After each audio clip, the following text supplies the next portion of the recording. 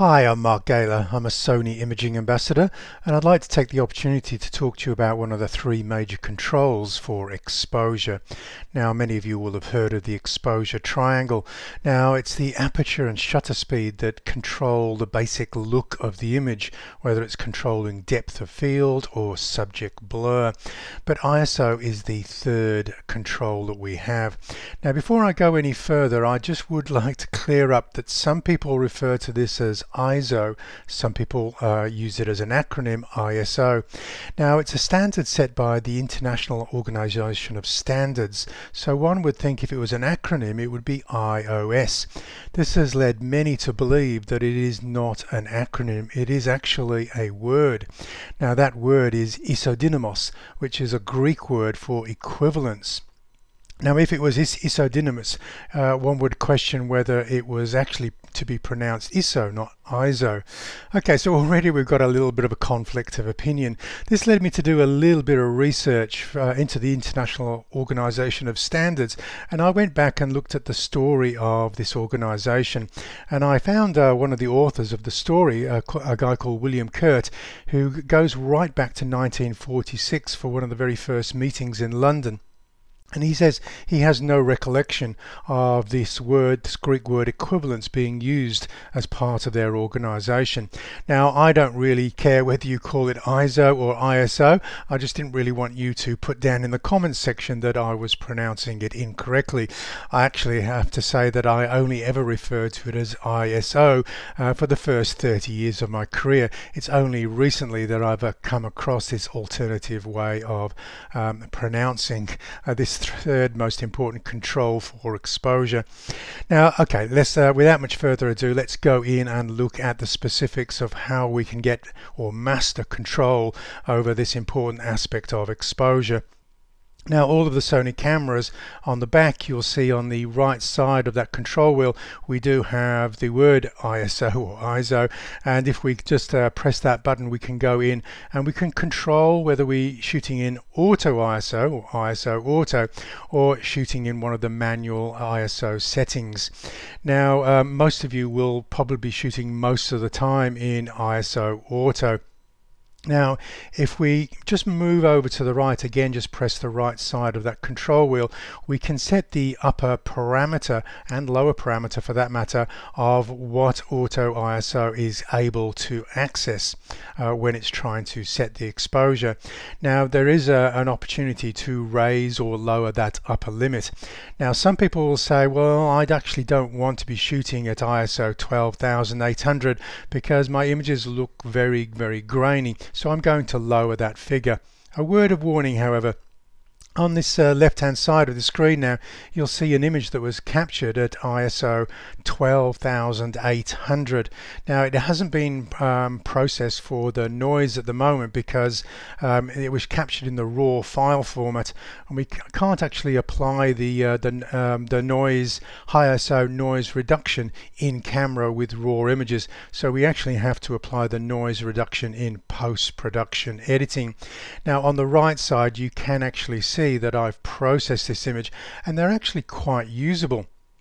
I should also point out that I didn't have any opportunities to use uh, aperture or shutter speed to lower that ISO setting there. I'm using the maximum f1.8 aperture on this 85mm prime and if I go much below 1 100th of a second I'm going to get some subject blur. So the only way I could have captured this particular image is by using that high ISO and with careful post-production treatment this is a commercially viable image. So let's look at uh, some other examples where I've had to use high ISO. This one, um, it's a very grey day at a racetrack and I'm having to use one two thousandth of a second to freeze these most cycles coming around the hairpin bend. Now I'm using one two thousandth of a second which I know will do that. I'm using the maximum aperture of the FE 200-600 lens and that of course forces the ISO to go much higher. Now again I think um, with a little bit of noise reduction in post uh, processing this is a very usable image. Now I think that the especially the 24 megapixel full frame sensors are actually exceptionally good with that high ISO performance.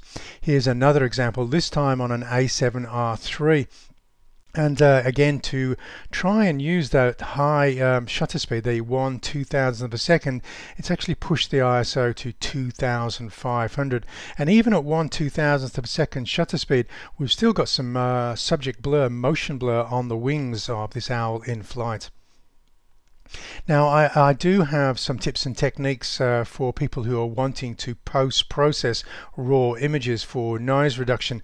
For instance, this little tree frog was captured at an ISO of 5000 and I think it's, um, it's exceptionally high quality. So the way I actually did this was just apply a small amount of noise reduction globally to the whole thing in the detail panel and then I applied a lot more noise reduction um, locally to um, the uh, out of focus bokeh areas. And those are the areas where most of the noise will be noticeable by most people. So you can really ramp up the noise reduction just away from the sharp focus of your main subject. And here is that image um, full frame uh, uh, at an ISO of 5000 and most people probably will think that it's uh, captured with an ISO value of 640 or less.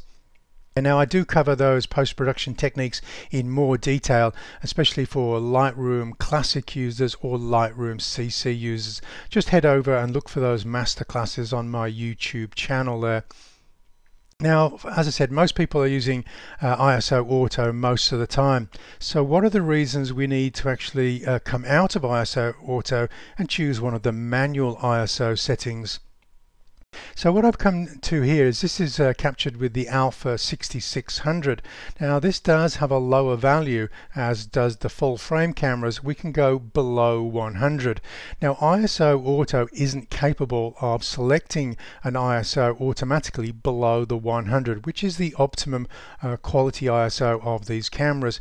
But if we were shooting with say an f1.4 or 1.8 um, prime lens wide open on a sunny day there's a real risk, especially on the APS-C cameras, that we're going to overexpose the brightest highlights. The shutter speed will be capped at 1 4000th of a second, and really we need to go a little bit faster on the shutter speed or lower the ISO value in order to ensure that the brightest highlights are not overexposed.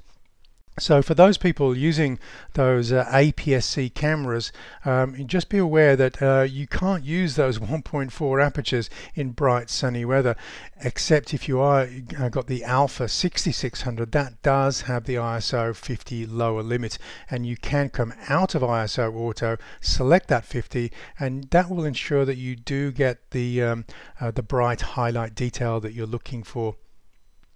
Um, another reason to um, select a manual ISO, of course, is when we put the cameras on a tripod, we really don't mind that shutter speed extending out. In some instances, we actually want that to happen so we can smooth the surface ripples on the water to create a nice smooth surface. And so we are obviously going to select uh, the ISO 100. We get the optimum um, quality of the image, the least amount of noise. We also get the biggest dynamic range. This means that we've got most opportunity to capture rich detail in the darkest of shadows and the brightest of highlights. The dynamic range will come down as we start raising that ISO. We also should note that if we're shooting in the uncompressed RAW file format on the full frame cameras, we will also get a little bit extra dynamic range. Now one thing to note, uh, if we are perhaps uh, shooting in uh, manual exposure and we've selected the manual exposure on the shoot mode dial, just remember manual isn't fully manual if you're using ISO auto. You're basically still using a semi-auto um, exposure mode. So you do have to remember if you want uh, to be in fully manual mode that as well as selecting uh, manual on the shoot mode dial, you also need to go into the ISO setting and select one of the uh, um, fixed ISO settings from that list there.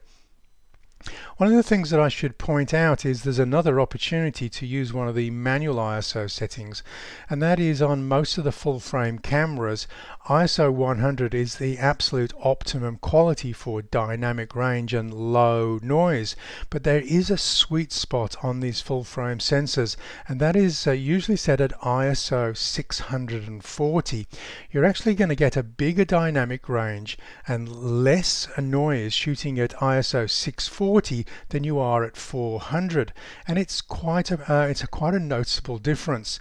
So if you are hovering around that ISO um, uh, 400 uh, or 640 it's actually best to come out of ISO auto and select that 640 now in the example I'm showing here I'm actually looking for the best dynamic range because we've got a white owl that's collecting a little bit of sunlight and so we need the the biggest dynamic range that I can actually muster on this particular image so let's go uh, in a, a, little bit more detail into the ISO settings. Now we did set the upper and lower parameters on ISO Auto from the back of the camera, but there is a dedicated menu setting for ISO. And on the latest model cameras it's called ISO setting. If we press the uh, center button to enter that menu, we'll see that's uh, subdivided into three uh, sub uh, menus there. Uh, ISO, which is the, the auto or um, selecting the fixed ISO. Then we've got an ISO range limit and we've got ISO auto minimum shutter speed. Now we've already set the upper and lower parameter on ISO auto from the back of the camera. So let's go uh, down to the second menu item and look at the ISO range limit. Now this is a, a, source of some confusion for some users. Because we've set the upper and lower limit for ISO Auto, we can actually set an upper and lower limit that we can access when we're not using ISO Auto. And that is a little bit confusing. If you think you've set a lower limit and then you don't access it from the uh, alternative ISO setting, then that can be a little bit confusing. So if you want to be able to see ISO 50 when you're setting manual ISO, you do have to use and set that at the minimum uh, in this ISO range limit.